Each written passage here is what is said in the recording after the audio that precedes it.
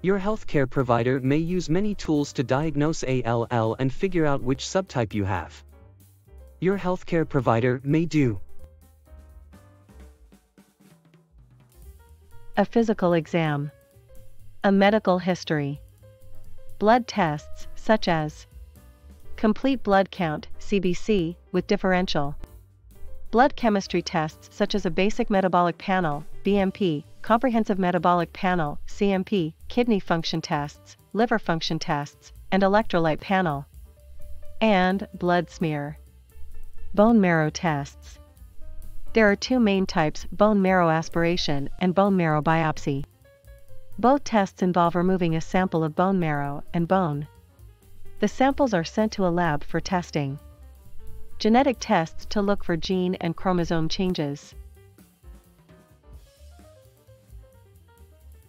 If you are diagnosed with ALL, you may have additional tests to see whether the cancer has spread. These include imaging tests and a lumbar puncture, which is a procedure to collect and test cerebrospinal fluid, CSF.